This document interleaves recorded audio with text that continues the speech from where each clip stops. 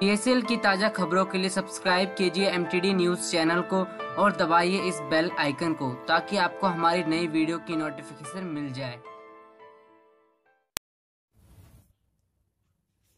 दोस्तों, पूरे भारतवर्ष के पल्स व अन्य कंपनी से पीड़ित मेरे भाइयों, सभी को नमस्कार। रविशंकर गौतम, मुरादाबाद, उत्तर प्रदेश। दोस्तों, मैं एक बात पूछना चाहता हूँ आप लोगों से। हमने जो है एसडीएम को डीएम को, और सांसद को, मंत्रियों को, सबको ज्ञापन दे लिया दोस्तों, स्पष्ट बात यह है कि इन लोगों ने हमारी बात को नहीं सुना। और इनके सुनने से होगा भी कुछ नहीं। क्योंकि जब अब तक नहीं हुआ तो कुछ भी नहीं होगा। तो दोस्तों लास्ट में हमारे पास एक ही आदमी बसता है, जो हमारे देश का प्रधानमंत्री है। दोस्तों, एक बात आपसे पूछना चाहता हूँ कि हम कामयाब क्यों नहीं हुए? उसकी वजह यह है कि हम लोग आपस में एकता नहीं बनाए हुए हैं। और ये लास्ट ऑप्शन है, जो आपका जो छह नवंबर जो है, एक इतिहास होगा 2019 का। दोस्तों, मैं सिर्फ़ कुछ नहीं कहना चाहता हूँ आप लोगों से, एक अपील करना चाहता हूँ, और वो अपील आप सुनेंगे तो बहुत ही अच्छा रहेगा। जितने हमारे कंपनियों में जूनियर, सीनियर की रैंक होती थी, उनसे मैं हाथ जोड़ता हूँ। एक बार, दोस्तों, एक बार आप आओ, लेकिन हमारे देश के प्रधानमंत्री को अभी तक ये नहीं पता कि पल से लोग पीड़ित हैं कितने। लेकिन मैं आपसे एक बात कहना चाहता हूँ। एक तो आप पल्स की, बॉन्ड की एक कॉपी लेके आए और एक अपना आधार नंबर, आधार कार्ड की फ़ोटो स्टेट लेके आए। और दोनों आपके हाथ में होनी चाहिए। जब आपसे मांगी जाए वहाँ और जब आपको पूछा जाए कि भाई आपके पल्स में पैसे हैं या अन्य कंपनी में पैसे हैं तो आप जो है मीडिया के सामने अपनी बात को रखना कि हम वैसे नहीं आए। ये हमारा आधार नंबर है, ये हमारी आईडी है, और ये हमारे जो है, जिस कंपनी में हमने पैसा जमा किया है, वो इसके कागज़ है। तो दोस्तों, अगर मीडिया की समझ में भी आएगा, और प्रधानमंत्री की समझ में भी आएगा, और जो वहाँ के हमारे प्रशासन के अधिकारी होंगे, उनकी भी समझ में आएगा कि वास्तव में ये पीड़ित हैं। और दोस्तों, अभी आपके सामने चला ही है क्योंकि जब भी हमारा आंदोलन अच्छे स्तर पर पहुँच जाता है तो कहीं ना कहीं ये दिक्कत आ जाती है कि गवर्नमेंट हमारे साथ खेल खेल देती है। जैसे कि अभी आपके सामने खेल दिया कि पाँच हज़ार का पेमेंट स्टार्ट कर दिया। ये जैसे पहले खिलौना दिया था आपको पच्चीस सौ का, अब पाँच हज़ार का दे दिया। और बाकी जो है, अगर जिसका एक लाख का पेमेंट है तो एक साल में तो ये पच्चीस सौ का देंगे और फिर पाँच हज़ार का, फिर जिनका एक लाख का पेमेंट है, वो तो बीस साल में मिलेगा। क्योंकि ये तो पच्चीस पच्चीस सौ रुपए करके बढ़ रहे हैं। तो दोस्तों, हम एक बात आपसे कहना चाहते हैं कि एक बार, छह नवंबर, लास्ट ऑप्शन है आपके पास, कोई नहीं है। इसके अलावा अगर आप किसको ज्ञापन देने जाएँगे, किससे बात करने जाएँगे, आपके बीच में भारतीय लोक सेवा दल पार्टी ने एक इतिहास रच दिया है कि वो आपके देश के प्रधानमंत्री से मिलने जा रहा है। और आप उसमें पूर्ण सहयोग करें। देखिए, आपसे कोई चंदा न लिया जा रहा है। आपसे कुछ फिरौती नहीं मांगी जा रही कि भाई आप फिरौती दे दो, हम ये काम कर रहे हैं। दोस्तों, कुछ नहीं है, सिर्फ़ आप आइए और बहकाए में मत आओ आप। आज भी कहना चाहते हैं, फिर लास्ट ऑप्शन ये होगा कि आप लोग थक जाओगे और हम भी थक जाएँगे। तो छह नवंबर में, देखिए आपने देखा, पिछले साल हमने एक महीने भूख हड़ताल करी, आप लोगों की आवाज़ उठाई तो आपके जो ऑनलाइन हो गए। और अगर आप छह नवंबर में आ जाते हैं तो हो सकता है कि आपको ये पैसा मिल जाए। दोस्तों, पैसा तो मिल ही जाएगा आपको।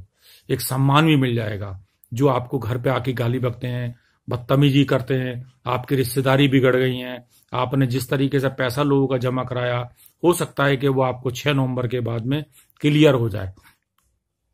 लेकिन दोस्तों, सिर्फ़ एक ही बात आपको मेरी माननी पड़ेगी। वो बात क्या है?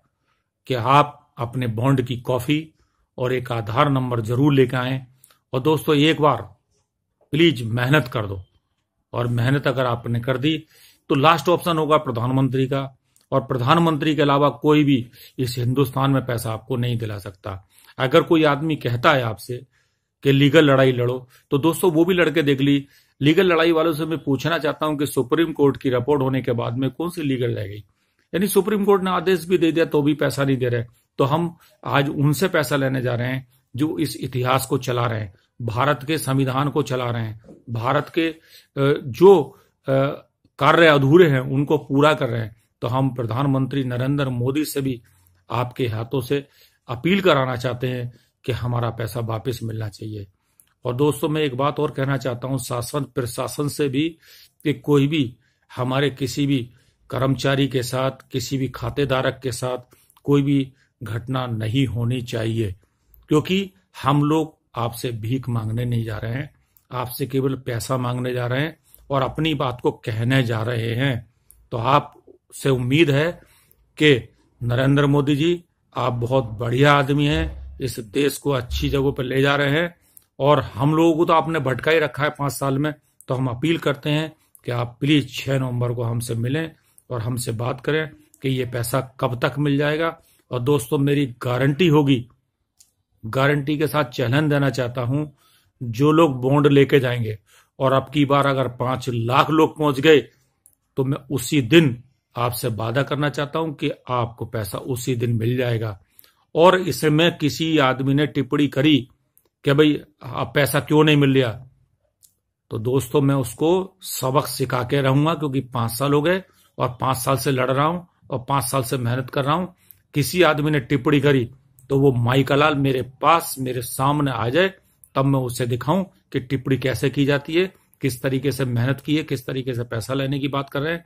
तो दोस्तों, मैं ज़्यादा बात नहीं कहना चाहता, बस सिर्फ़ यही कहना चाहता हूँ कि आप छह नवंबर को एक इतिहास बना दो और इतिहास के साथ अपने पल्स की बॉन्ड की कॉफ़ी और आधार कार्ड और अपने जूनियर और अपने सीनियर को साथ लेके उससे हाथ जोड़ के कि भैया चलो, हमारी लड़ाई है अगर आप पाँच लाख पहुँच जाते हैं तो दोस्तों, पैसा आपको छह नवंबर से ही स्टार्ट कराने का काम भारतीय लोक सेवा दल का होगा। पूरे भारतवर्ष को मैं नमस्कार करना चाहता हूँ, सभी को धन्यवाद देना चाहता हूँ। छह नवंबर प्रातः दस बजे प्रधानमंत्री निवास कार्यालय पहुँचे। रविशंकर गौतम, अगर कहीं दिक्कत आपको आ रही है तो मेरा नंबर है nine zero one two five, triple zero double two, Moradabad, Uttar Pradesh, Ravishankar Gautam. धन्यवाद, नमस्कार। परिवार में कोई दिक्कत है तो हम लोग सभी चाहेंगे कि इनके परिवार की जिस तरीके से खुशियाँ थी, वो वापस लौटनी चाहिए। उसके लिए सभी से मैं हाथ जोड़ के प्रार्थना करना चाहता हूँ इनके जो परिवार में इनकी वाइफ की जो तबीयत खराब है, वो ठीक हो जाए और आज जब ये घर जाए तो किसी से ये लगे कि हाँ भारतीय दुआएँ थे, ये कामयाब हुए बाकी मेरे जो साथी हैं, अमित जी हैं, डॉक्टर राम रामा सुक्का जी हैं, विकास त्रिपाठी जी हैं, और जसवंत जी हैं। आपके बीच में जो है मनोज हैं वीर सिंह हैं हनुमान जी हैं मोहम्मद हनीम जी हैं आप सभी परिवार से मेरे जुड़े हुए हैं हमारे बीच में राजेंद्र जी हैं और सबसे बड़ी बात मैं आपको कहना चाहता हूँ कि जैसे हमारे इस प्रदेश के जो उत्तराखंड से जिनका कोई पैसा नहीं है, वो आपके बीच में आंदोलन करना चाहते हैं, लड़ाई लड़ना चाहते हैं और जिनका पैसा है, वो घर बैठ के खेला चाहते हैं कि पैसा अगले दो दिन के बाद मिलना शुरू हो जाएगा। आप देखिए, हरियाणा कितनी दूर होगा आपके यहाँ से? उत्तराखंड से काफ़ी दूर होगा। वहाँ से आपके बीच में बबीता रानी और इनका आंदोलन देखिए, इन्होंने पल्स में काम नहीं किया है और फिर भी आपके साथ खड़ी है और एक उग्र आंदोलन करने जा रही है, जो अभी सिरे दिया जाएगा आपके सामने। ये खुद बताएँगी कि आपको आह्वान भी करेंगी कि मैं कहाँ आंदोलन कर रही हूँ। ये सब कुछ बताएँगी। तो सबसे बड़ी बात है, इनके लिए जोरदार ताली हो जाएगी। नारी है ये, देखिए आप। हम पुरुष हैं, कुछ नहीं कर पा रहे। दोस्तों, एक बात आती है, अभी बहुत टाइम से चल रही है, मैं पाँच साल से खूब उग्र कर रहा हूँ, खूब आंदोलन कर रहा हूँ, लोगों को समझा रहा हूँ। समझ में नहीं आ रही। जो भी समझ में आती है, पैसा मिल जाएगा।